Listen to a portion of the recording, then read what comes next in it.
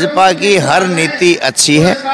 भाजपा की नीति किसानों के बारे में अच्छी है भाजपा की नीति व्यापारियों के बारे में अच्छी है भाजपा की नीति गरीब आदमियों के बारे में अच्छी है। ठेक नहीं नहीं उठाओ। कांग्रेस यार कद की कांग्रेस ठेक नहीं नहीं कांग्रेस खत्म। तू तो सात पीढ़ी पहले की उखाड़न लग रहा है। पहले तो सारे ब्राह्मण उसमें कांग्रेस बात तो सारी चल रही सारे भाइयों ने राम राम भाई मैं उतरा देसी पत्रकार धर्मोर भाई देसी देख बिना ब्रेक लाइक सिर पर उठा टेक और ताजे ताजे भाजपा के जो प्रदेश सचिव बने बने हैं नए नए प्रदेश सचिव ताजे ताजे और इनका लाइक जो ढेक। हाँ जी जय श्री राम। जय श्री राम। जय जय श्री राम। जय जय श्री राम। ये मित्रता आवाज़ आने लगी उमेश जी काफ़ी लंबा राजनीतिक कैरियर आपका और कांग्रेस में एक कद था बहुत बड़ा। उसके बावजूद भी जय श्री राम के नारे लाके लाना आप भी। जय श्री राम के नारे तो पैदा हुए जब से देखने लग रहे हैं सुबह उठे हैं तो हमारे दादा पिताजी सब जय श्री राम और राम राम करते आए। कांग्रेस में ऐसी बात नहीं है भाई आपका जो पद है बहुत बड़ा पद रहा है। उसके बावजूद भी कारण क्या रहा? भाई भाजपा की कौन सी नीति आपको पसंद आई जिसके कारण आप जो है एकदम से पाड़ा बदल दिया? और बदला यार कितनी पुरानी बात हो ली। आज की बात है कै साल तक मैं छः छः साल हो गए भाजपा में।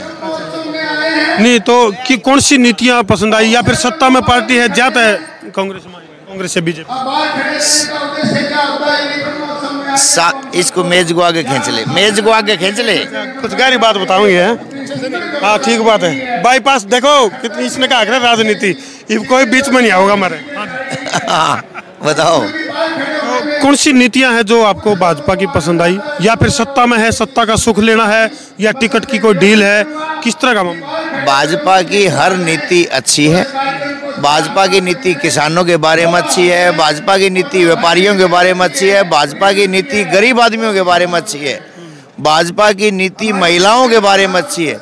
भाजपा की नीति खिलाड़ियों के बारे में अच्छी है। भाजपा की नीति हर वर्ग के लिए अच्छी है। गरीब के लिए मजदूर के लिए किसान के लिए इंजीनियरों के लिए। उसके, उसके बावजूद भी आज लगभग छः सात जिला में इंटरनेट की सेवाएँ ठप हैं। कारण के है मतलब इतना इतना डर लग गया है किसान आंदोलन से सरकार को। इतना आंदोलन लग गया पंचकुला में स्टूडेंट जो है वो धरना पर आप कह रहे हो ठप्पे देख मेरा इंटरनेट चलने लग रहा है।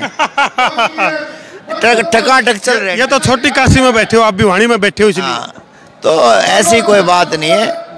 और कुछ लोग अपनी राजनीतिक रोटियाँ सेकने के लिए कोई राजनीति कर रहे होंगे। राम राज आज।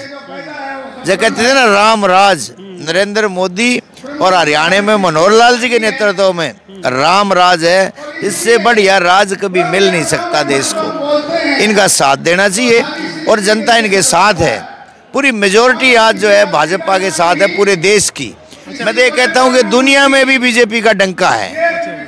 तो उमेश शर्मा का साथ भाजपा को कब तक है? ज़िंदगी भर। ज़िंदगी भर। ताउमर ज़िंदगी भर हम भाजपा के साथ रहेंगे जी। तो आपकी अपनी अगर मैं बात करूँ मतलब जैसे सोनीपत लोकसभा की अगर बात करूँ तो किस डाल का सनेरियो किस डाल की समस्याएँ फ़िलहाल पेंडिंग है जिनके ऊपर यदि आपने मौका मिला तो उनके ऊपर आप काम करोगे देखो वैसे तो बहुत अच्छे सारे रोड बनने लग रहे हैं, विकास कार्य हो रहे हैं और सोनीपत लोकसभा में खुशहाली है, सारी बात अच्छी है और समय समय पर सुविधाओं की ज़रूरत पड़ती है। अगर मेरे को मौका मिला, मैं भी मेहनत करूँगा, दूसरे भाइयों को मिल रहा है, वो भी मेहनत कर रहे हैं। अच्छा फिट उमेश जी फिटनेस की बात होया करे जिस तरह आर्मी में जमाना की भर्ती होया करे तो उनकी फिटनेस चेक करी जा करे अगर वो कितने फिट है?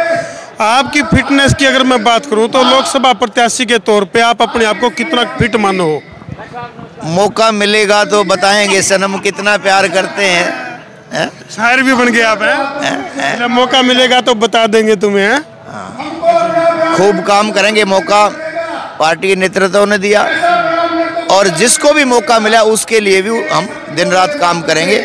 हमने कमल के फूल को जिताना है और नरेंद्र मोदी जी के पूरे देश में एक आवाज़ है कि अब की बार 400 पार।